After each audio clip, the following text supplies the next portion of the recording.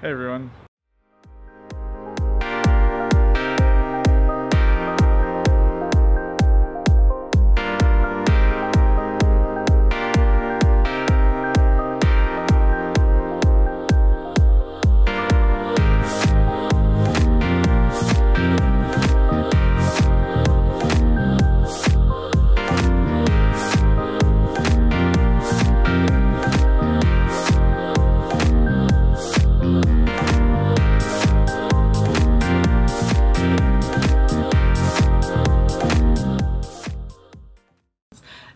Here.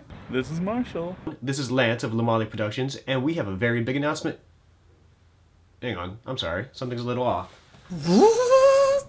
There we go, much better. As I was saying, we have a big announcement to make. Marshall, drum roll please. It is our one year anniversary.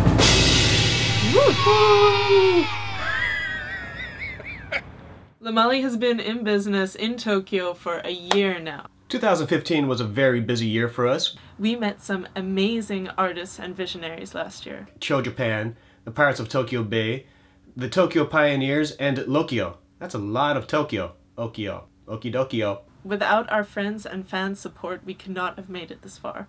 All that, all them. Couldn't have done it without you. So thank you. thank you so much.